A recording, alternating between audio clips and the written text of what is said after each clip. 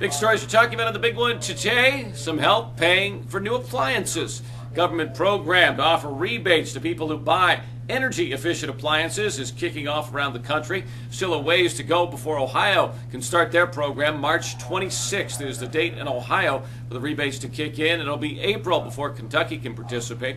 In Indiana, you have to do it all by mail. Apply for your rebate. You can find all the details at our local news section here at 700WLW.com. Search news for information on exactly which appliances qualify for rebates and how much and how you can go about getting them. The bottom line is if you're thinking about buying a new air conditioner or furnace, hot water heater, something like that, and you can wait several weeks, it'd be well worth your while in the tri-state.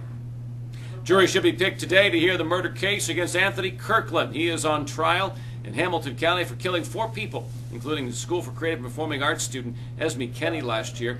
Kirkland under tight security as jury selection has been taking place. Both the prosecution and defense say that they should be able to wrap up the selection process today. Opening arguments are scheduled for tomorrow.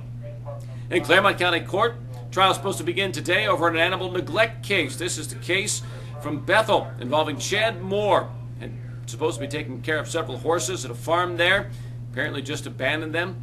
A couple of the horses died. Several others were taken in by other people, badly malnourished, brought back to health. Moore is on trial for animal neglect in Clermont County. We'll let you know how it turns out. An alpaca death in Butler County bringing new charges now. Police there say they've charged a second 17 year old teen with animal abuse for killing the animal that was at a farm in Morgan Township.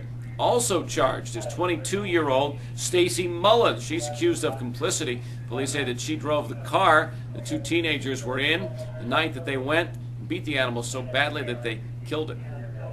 Bengal wide receiver Chad Ochocinco going to be dancing with the stars. He's one of 11 contestants to participate in season 10. Today we found out that he is being matched up with Cheryl Burke, one of the professionals who's won the competition twice, last time with Emmitt Smith, and before that with Cincinnati's own Drew Lachey. The show debuts March 22nd on ABC. Could be the high school football playoffs may move to Cincinnati. For years and years, teams from here have had to travel three to four hours north to play for the championship, but Hamilton County is going to put in a bid to try and host the games 2012 through 2014. The talk is they'd use Paul Brown Stadium and Nippert Stadium for the six division games that have to be played to determine who the champions are. The bid will be put in by April, with a decision by the High School Athletic Association in Ohio made by July.